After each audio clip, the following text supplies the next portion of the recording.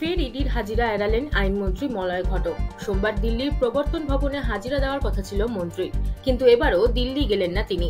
এই নিয়ে বারোবার হাজিরা এড়ালেন মলয় ঘটক। তবে পঞ্চায়েত ভোট মিটলেই তিনি দিল্লি গিয়ে হাজিরা দেবেন বলে আশ্বাস দিয়েছেন মন্ত্রী। জানা গিয়েছে, আইনজীবী মারফত কেন্দ্রীয় তদন্তকারী সংস্থাকে ইমেল করে হাজিরা না দেওয়ার বিষয়টি জানিয়েছেন মলয় ঘটক। সেখানে কি কারণ উল্লেখ করেছেন মন্ত্রী? সূত্রের খবর মলয় ঘটক জানিয়েছেন, পঞ্চায়েত ভোটে প্রচার এবং অন্যান্য কর্মসূচি নিয়ে ব্যস্ত রয়েছেন তিনি। সেই কারণে এই মুহূর্তে তিনি দিল্লি যেতে পারছেন না।